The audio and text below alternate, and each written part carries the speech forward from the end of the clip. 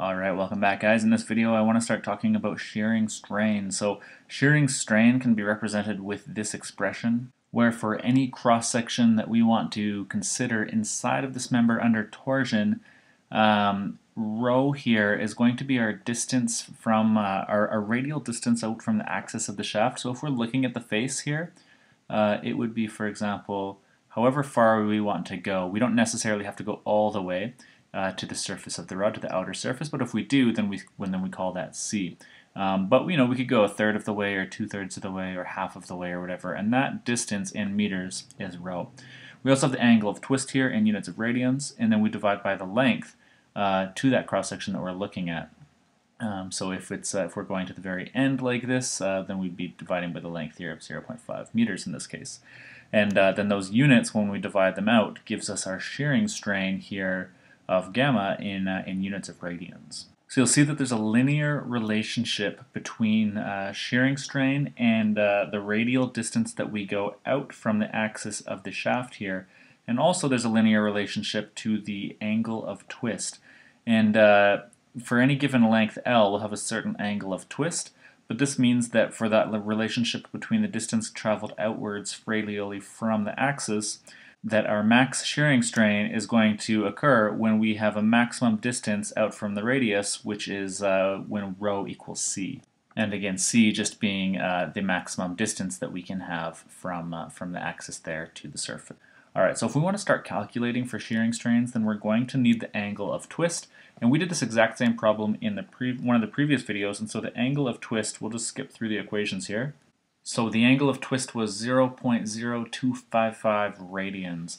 So if we want to figure out what the shearing strain is at a distance that is, let's say, uh, 10 millimeters away from the center, so one third of the way out to the, the edge of the rod here, then we'll have our shearing strain is just going to be equal to the distance that we're, the distance away from the center that we're concerned about times the angle of twist divided by that length. So we're going to get 0.01 meters times the 0.0255 radians and over that length there to, uh, let's say we're looking at the surface here, which we are for that angle of twist, so divided by 0.5 meters.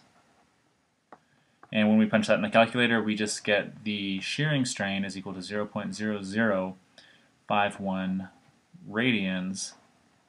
And uh, that is if you go out anywhere that radially out uh, 10 millimeters from the center, then that's the shearing strain that we're going to be getting. If we wanted to take the shearing strain, so we can even put a little sub here, like 10 millimeters.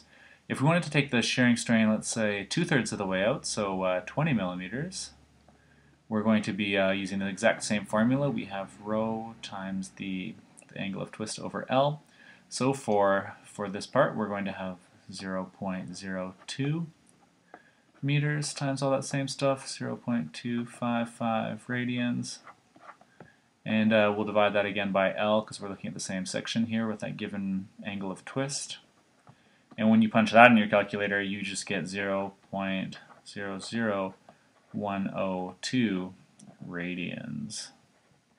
Now if we look and, uh, and we want to figure out what the shearing strain is right at the surface, so 30 millimeters away, we're going to be getting, uh, this is actually going to be our max because we're taking our rho to be c, and c is just the, the max uh, radius there, so we have c times angle of twist over L, and when we drop that in we get 0.03 meters times the angle of twist, uh, that was radians, and uh, over 0.5 meters. Uh, and we're going to be seeing that that is equal to 0.00153 radians. So what you should be seeing now is that there's this linear relationship uh, in shearing stress that correlates to our radial distance from the axis of the shaft. So where we where we doubled our our radial distance here from 0.01 to 0.02 meters, the, uh, the shearing strain also doubled. And here where we tripled it from 0.01 to 0.03, we tripled the, uh, the shearing strain. So the last thing that uh, that really comes of that is that there's an expression that we can that we can use uh, that is the shearing strain uh, is equal to so the shearing strain on any cross-sectional surface is equal to rho divided by c times the max shearing strain. So you might be able to figure out what the max shearing strain is, and then we can use that. So we have that right here, actually. This is the max shearing strain.